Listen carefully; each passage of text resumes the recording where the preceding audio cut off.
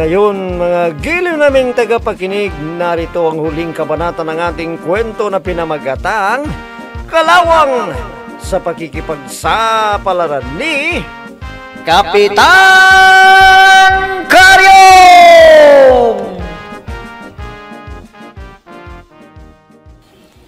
Masama ito ba yan? Pati mga polisi na adik na rin sa nangisayan lambanog na yan. Oo, bayaw. Nakaw. Sino pang uh, hihilingan natin ng tulong kung pati mga pulis dito ay naadik na rin sa, kumakalat na lambanog na yan? Eh, kailangan na mabidyohan natin sila bayaw para may ebidensya tayo. Eh, sige, ako na ang magbibideo bayaw. Eh, eh, eh, ito. Ibidyo mo lahat ng ginagawa nila, bayaw. Oo, bayaw. Eh, binibidyohan ko na ang uh, alak na iniinom nila para hindi sila makapagsinungaling. Eh, napansin ka. Saluhan mo kami! Ang sarap talaga ng lambanong nito. Eh, Isang ah, lasang puti, kasaw na. Pero nawawala rin kapag may tama ka na. eh, eh, bayaw, napansin ka na. Ha? Pero hindi ka man lang iginalang. Tumabay ka! Eh. Dahil kung hindi, ma- may mangyayari sa'yo. Na, naka, Ha? Kayo ba may problema? Wala kayong kailangan gawin kundi mag-relax. Ha? Opo sa sopa. Magtanggal ng sapatos. Magsuot ng chinilas. At kumuha ng nangisayan ng banog. Magsalin at inumin.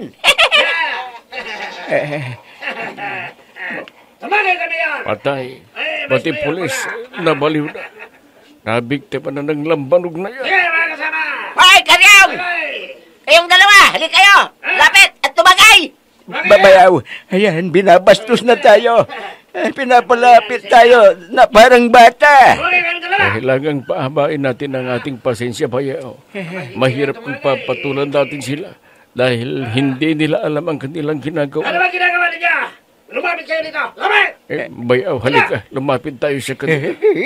Pero bayaw, lasing sila. Baka kung ano ang gawin nila sa atin. Huwag kang matakot, bayaw. Ako ang bahala. Halika na. Delikado ito. Sige! Ah, magkupot kayong dalawa! Ha? Tumayo kayo! Eh, Nako, Sabayan natin yung kantang silos! Kung hindi, ha? Ha? Kung hindi kayo sasayaw, papatay namin kayong dalawa! Sige, sayaw! Eh, Isa na five, na bayaw. Sumayaw na tayo. Bayaw.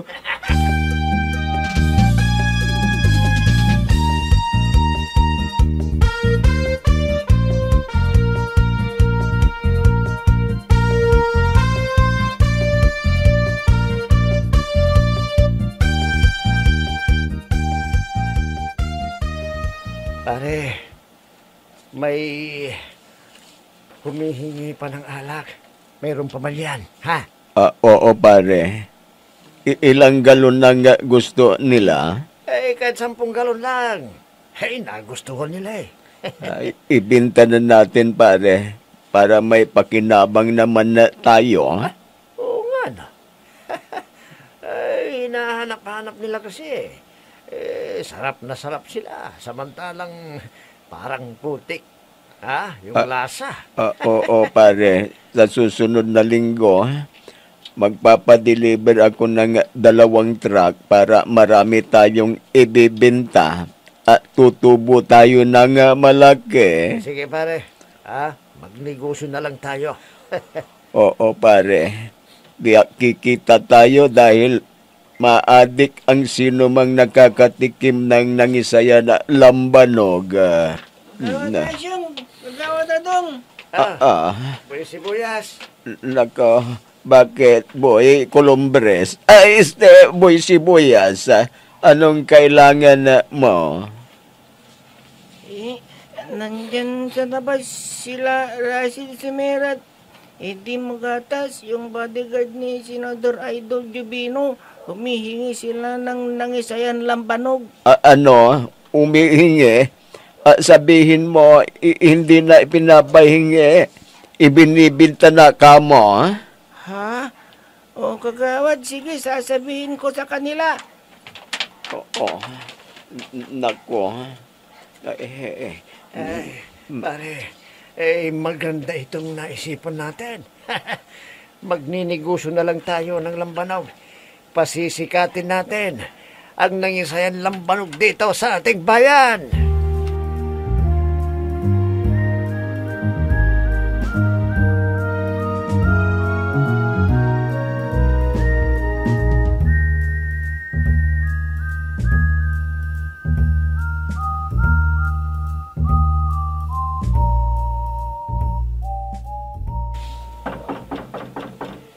Alay, hindi nakalakihan. Pumasok ka na. Oh, marahay na aldaw po sa inyo, Ay, Mayor. Marhay na aldaw po sa inyo, Mayor. Ah, ah, kayo? Oh, ano ang kailangan ninyo? May inutusan ba kayo ni Timponosyo para sa rin ako? Ganun ba? At nako po, Mayor, nagkakamali po kayo. Matagal na po kaming kumalas kay Timprosyo dahil napag-isip-isip namin ni Kagawad Asyong na wala kaming mapapala sa kanya. Ay, tama po ang sinabi ni Kagawad ah, Adong Mayor. Umalas na kami sa kanya. Aba, eh, ganun ba? Ah, anong kailangan ninyo sa akin? Ali sabihin ninyo kaagad. Eh, sige po, Mayor. Ipapaliwanag namin sa iyo ang pake namin sa iyo. Ah, oo po, Mayor. Makinig po kayo.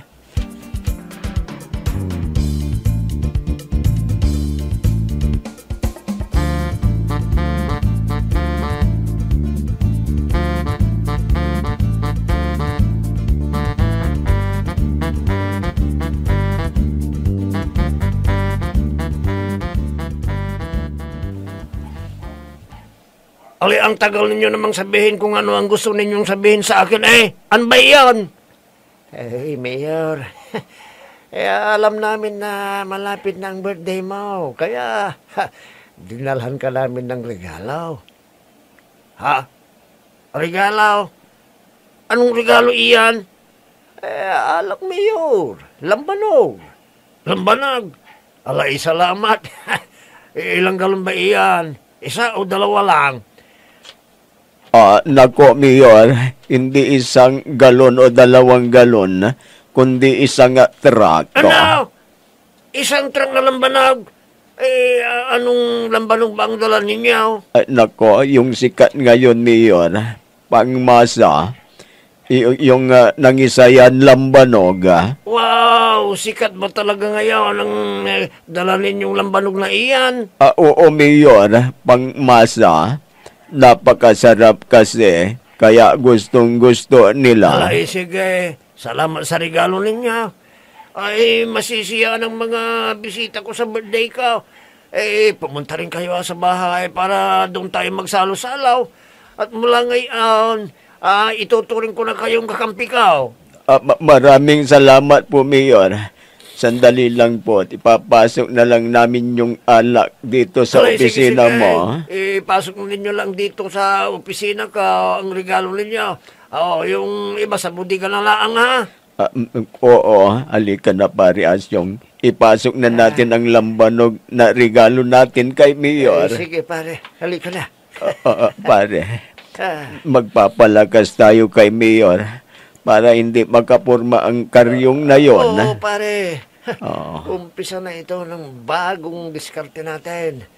Sisiraan natin si Karyong para masira ang tiwala ng mayor sa kanya. Ayos pare.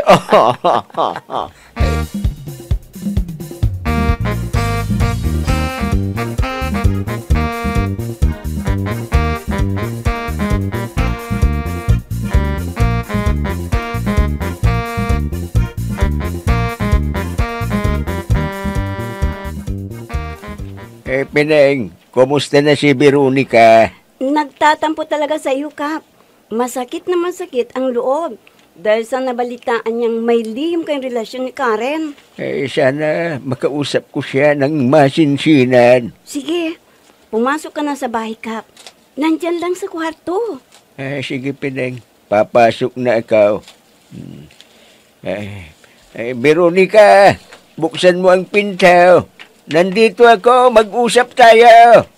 Kayo ba'y sinaktan ng iyong minamahal? Ah, Wala kayong kailangan gawin, kundi mag-relax. nako. Maupo sa sopa, magtanggal ng pante, ay Nak- nako. magtanggal ng sapatos, magsuot ng tsinelas, kumuha ng nangisayan lambanog, magsalin at inumin, nalisin ang bra!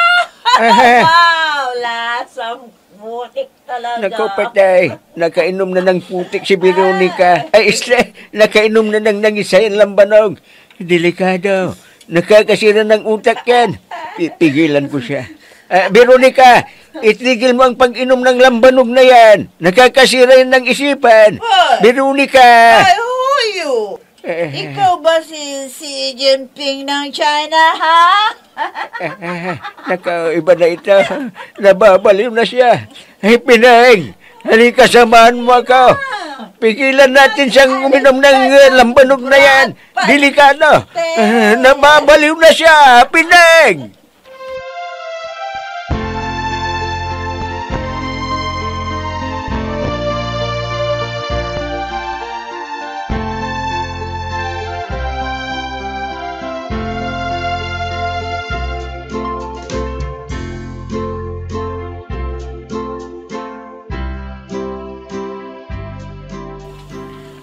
Mabuti naman.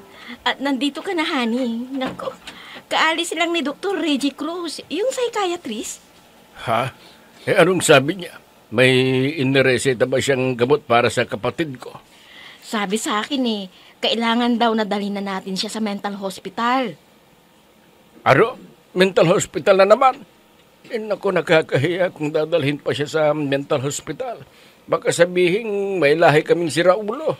Yan ang sabi sa akin eh. Kailangan daw na madala na natin siya sa mental hospital sa lalong madaling panahon. Baka raw lumala ang sakit niya. Lalo ka lang magkaproblema. Eh naku, eh ano ba itong nangyayari nito? Kailangan na makumpis ka lahat ang lambanog na yon. Dahil yun ang sumisira sa utak ng mga tao. Eh sige, gagawan ko ng paraan. Dahil pati polisi nakainom na rin ng lambanog na yon. Napraning na rin sila. Eh, dudulog ako ngayon sa Provincial Police Office. At i-report mo na rin sa boss mo, kay Senador Idol Jubino. Sabihin mo ang nangyayari ngayon dito sa barangay ng Hingaluan. Pero huwag mo munang babanggitin ha, na nababaliw ang kapatid ko. Kayo ba ay pinagpalit ng iyong asawa? Wala kayong kailangang gawin, kundi mag-relax, maupo sa sofa, magtanggal ng sapatos, magsuot ng tsinelas at kumuha ng langisayam lambanog. Magsalin at inumin. Ah. Ayun na naman, honey. Nagsasalita na naman siya ng kung ano-ano. Aha! May kalaban! Babarin ko kayo! May baril siya! Babarin ko kayo! Babarilin tayo! Ah!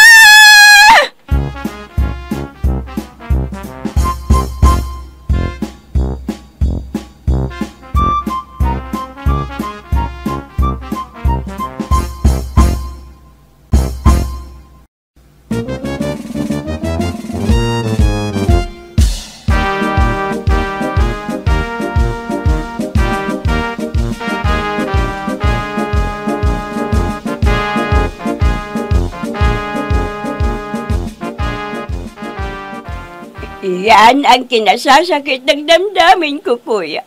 Si Kulasa, laging tumatawag sa kanya. At sa tipo ng pananalita niya, eh, may relasyon pa silang dalawa. Eh, eh nakaw, matagal na ang hindi ko nakakausap ang kulasa na yon. Wala kaming re- relasyon. Ah, hayan, tiyak siya na naman yang tumatawag sa iyo. Eh, eh, hindi. Eh, hindi nakaregister ang number na ito eh. Eh, sige, sasagutin ko. Ilalaw the speaker ko para patunayan sa iyong wala kaming relasyon ni Kulasa. Eh, eh, he- hello? Ay, hello, Gab, honey. Kumusta ka na? I miss you. Nako, ay, Kwen, Kwen. Eh, sige, bye! Ah, hayan ka lang. Wisit ka talaga. Yan bang sinasabi mong wala kayong relasyon? Yan ba? Eh, nako, eh, patay!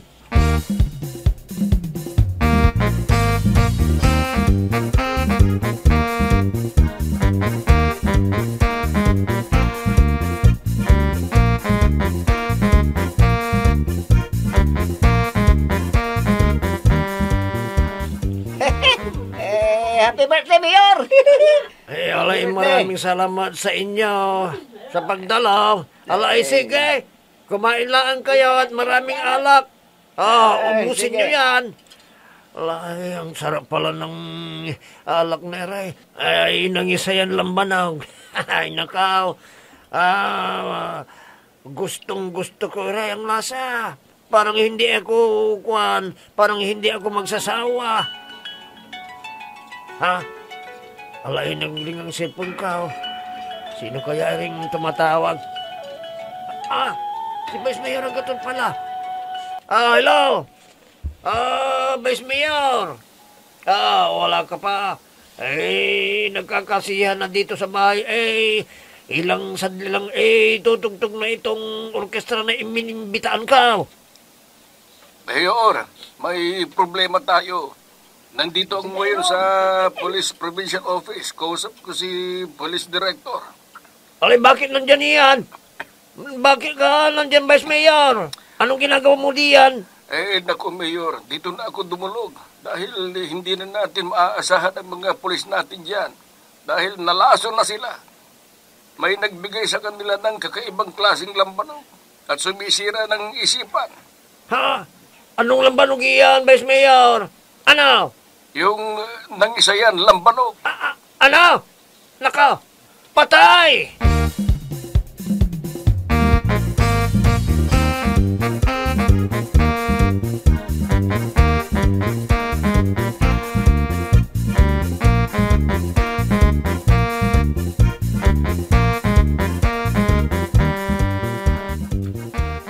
Pare, hindi magtatagal. Sikaryong na rin ang masisira ng bait. At kapag nangyari yan, ha, aalisin na siya sa posisyon dahil may sakit na siya sa pag-iisip. At ako na ang barangay administrator. Ah, ah, Oo, oh, padre. At ako ang, ang magiging OIC. Ah, ah, ah. Pare, ano yun? Parang may dumating na pulis Ah, yata. Oo, oo, pare. Ma- may pulis, ah. Ah, baka nabitin sila. Ha, ihingi na naman ng lambanog ang mga yan. Eh, sige, bigyan natin sila kaagad. Ah, pa- pa- pare, tignan mo. Ibang pulis ang mga yan na hindi ko sila kilala. Nako. Gawa na daw! Ah, ah. Gawa na siyo! Nako. Mga pulis kami! Kayo ay naaristo sa salang paglason. Nako. Nagbinta kayo ng peking lambanog Ah, ah. at may kimikal na kakasira ng isipan. Nako. Kayo ay may karapatang manahimik o magsawalang kibok.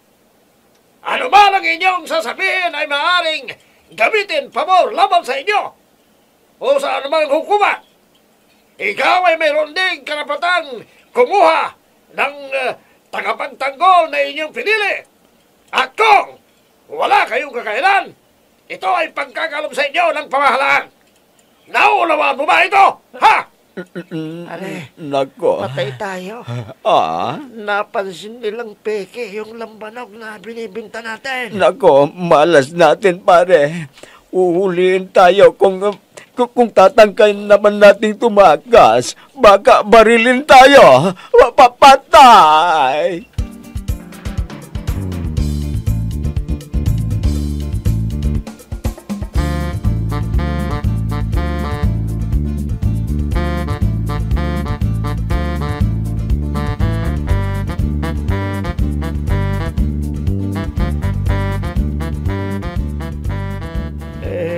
Eh, kapkaryong tulungan mo kami. Ayaw naming makulong ng matagal dito. Ah, Parang oo. awa mo na. Oo, Kap. Maawa ka sa amin. Matanda na ako. Maawa Baka ka. magkasakit ako dito sa loob. Eh, mga tarantado kayo. Matagal ko na kayong problema eh. Kayo ang kalawang ng barangay. eh, lagi ninyong sinisira ang ating barangay. Matagal na sanang gumanda ang ating barangay. Pero anong ginawa niyo? Mga kalawang kayo. Lahat ng maisipan kong ikagaganda ng ating barangay, sinasabutain ninyo. Kaya magdusa kayo. Bubuhusan namin kami ng asido para matanggal kayong mga kalawang kayo. At bago ako umalis, ipapalabas ko muna kayo sa pulis at mamasahiin kayo ng mga taong galit na galit sa inyo. Kap! Palabasin niyo ang dalawang mukok na yan! Oh, palabasin ninyo! Babalasahin namin! Palabasin namin! Ah, ah, pare, Asyong, mga malalaking katawan ang mga yan. Baka isang suntok lang niya sa akin eh, magkakalas-kalas ang aking buto. Eh sige, mga kabarangay! Simulan nyo na silang balasahin! Nakainom na kami! Naka, Kap, maawa ka naman sa amin. Huwag mo kaming babalasa sa kanila. Huwag ka... Ah, Oo, oo, kap, wag, maawa ka sa amin, wag, o, wag, I- hindi kami kalawang, wag.